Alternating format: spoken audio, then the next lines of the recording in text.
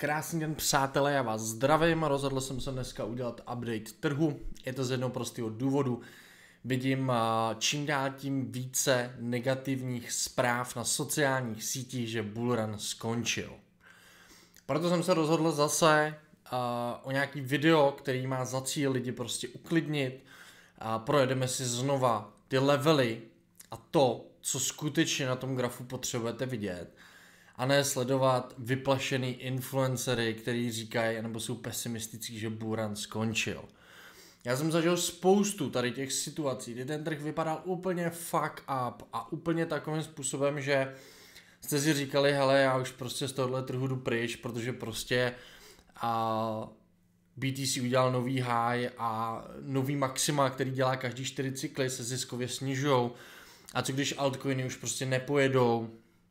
A takový ty otázky, které navstávají právě z toho jako pesimistického období trhu. Takže zase si to nějakým způsobem projedeme. A můj cíl je vás uklidnit, protože si já naprosto v klidu jsem a já jsem nestratil víru v to, že Buran pokračuje. A zároveň jsem furt narvaný ve 120, možná i dokonce více procent v altcoinech, protože mám otevřený jemný páky, který dám na maržinu, ale princip je v tom, že já stále jsem nehodil flintu do žita, že by Buran neměl pokračovat. Zažil jsem spoustu situací na kryptu, kde to krypto si tu cestu stejně našlo na to a chytilo se vlastně toho, co se děje v tom makru a vytvořilo další rally. My když se podíváme úplně na ten jakoby základ, což je vlastně S&P 500 s nějakou korelací a za mě chápu, je tady nějaký strach teďka vytvořený, ale tohle za mě absolutně neznamená, že jdeme sem dolů. Mějte na paměti to, že tady je uptrend a ten uptrend je jasně definovaný. Jo? Proto, aby se ten uptrend uh, zkrátka zničil, tak musíte projíždět ty invalidační levely. A za mě je důležitý, dokud držíme tady těch 5000 dolarů, tak je mi absolutně jedno, jestli S&P 500 udělá zastávku na topu, nebo tady teďka udělá krátkou korekční strukturu. Je mi to fakt úplně jedno. Důležitý je sledovat ty vyšší časové rámce, to makro, co se tam teďka děje a tak dále. A já z tohohle prostě aktuálně nemůžu říci, že bychom šli dolů, spíš naopak.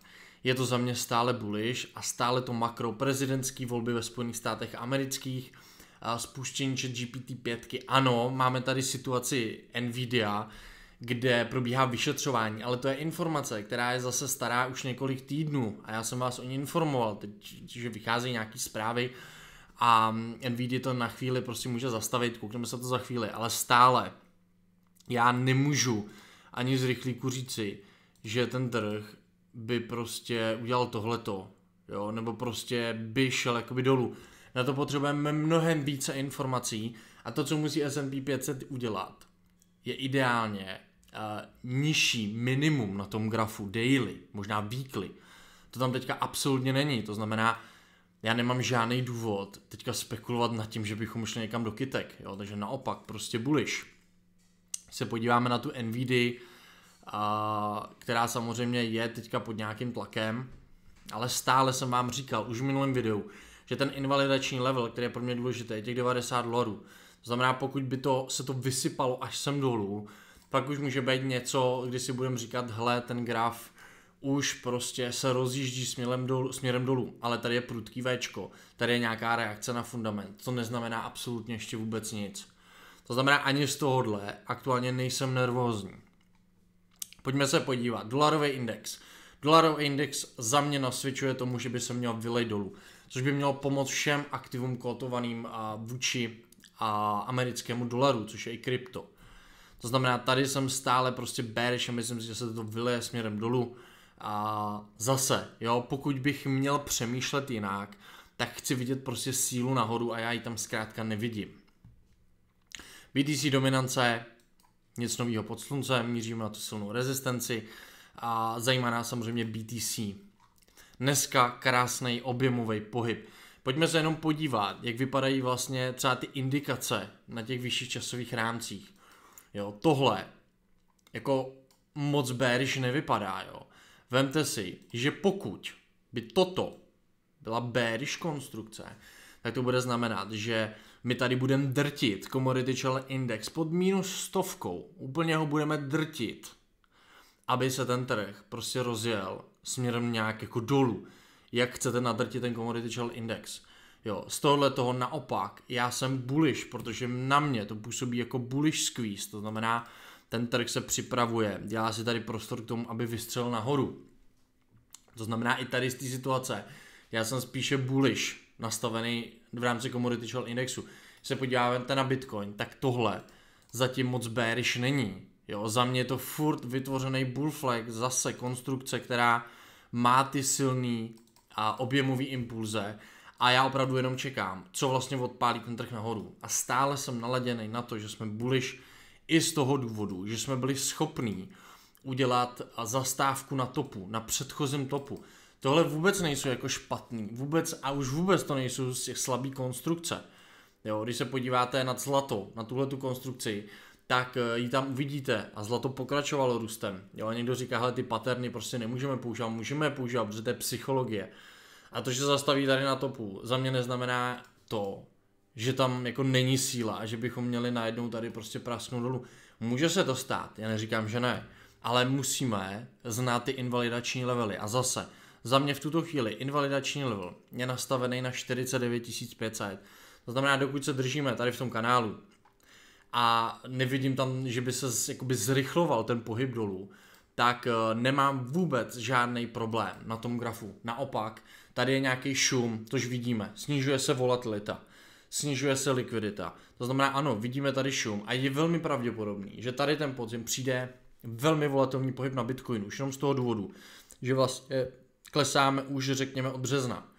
Jo, to znamená, že počítejte s tím, že ten volatilní pohyb přijde. A stále, jo, já prostě nemůžu predikovat tohle. Prostě jako máme cykly, máme tady nějakou historii a stále jsem naladěný na to, že přijde tady ten pohyb.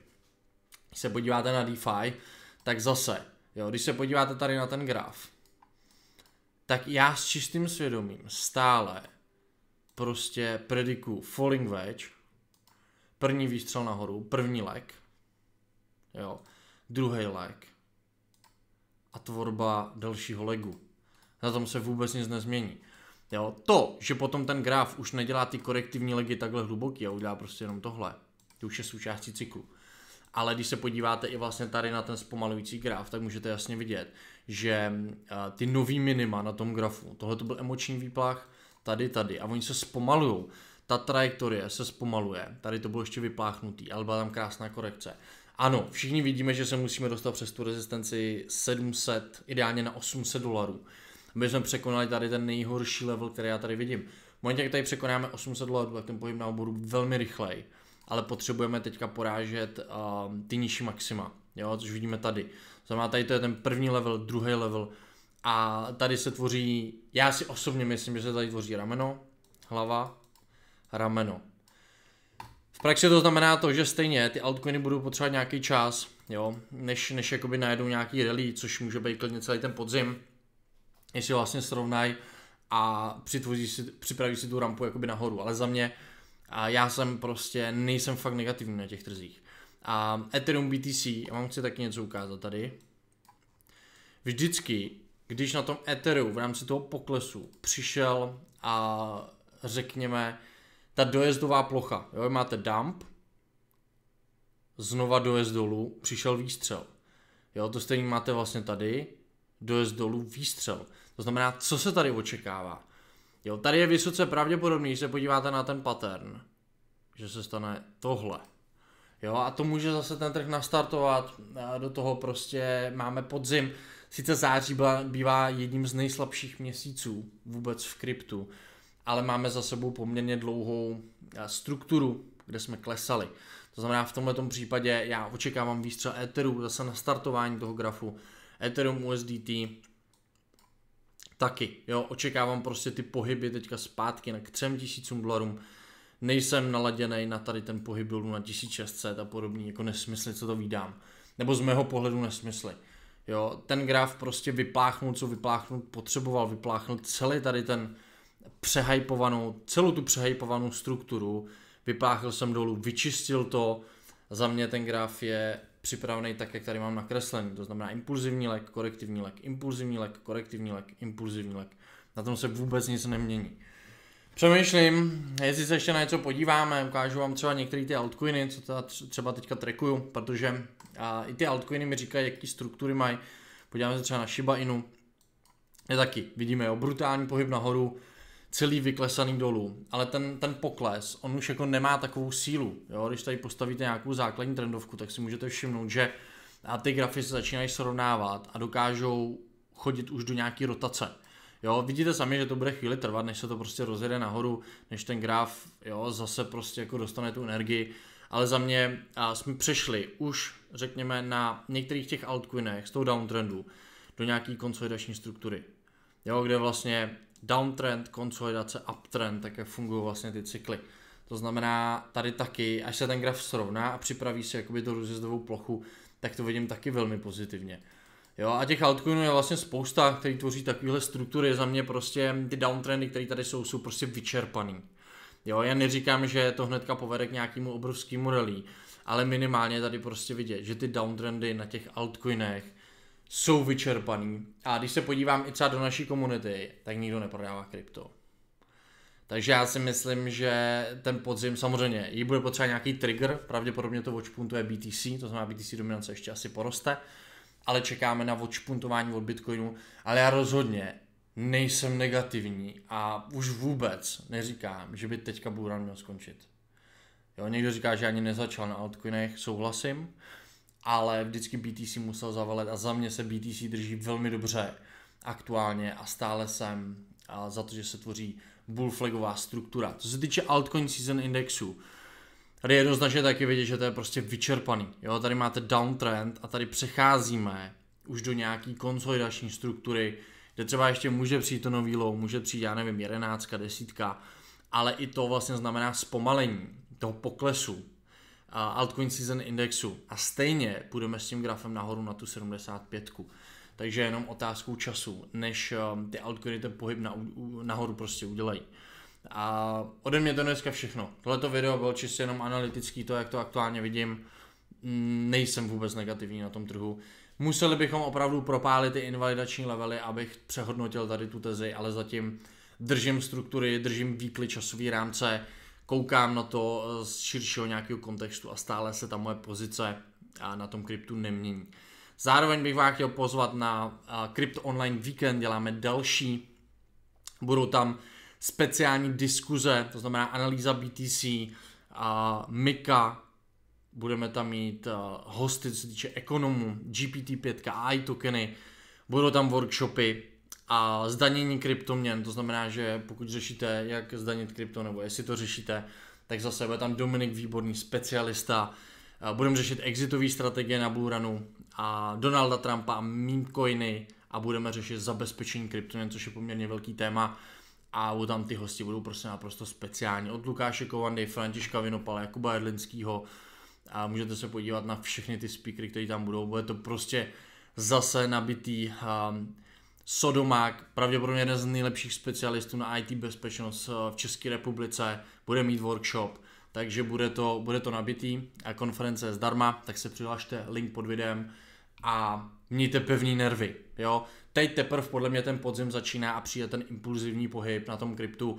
Může se stát, že to bude směrem dolů, že prorazíme ty invalidační levely na S&P 500, na BTC, budeme pod 48 a v tu chvíli budeme revalidovat ty strategie, které tam máme, ale aktuálně uh, snižovat své pozice v altcoinech absolutně dělat nebudu. Takže mějte se a držím pevný nervy. Ahoj.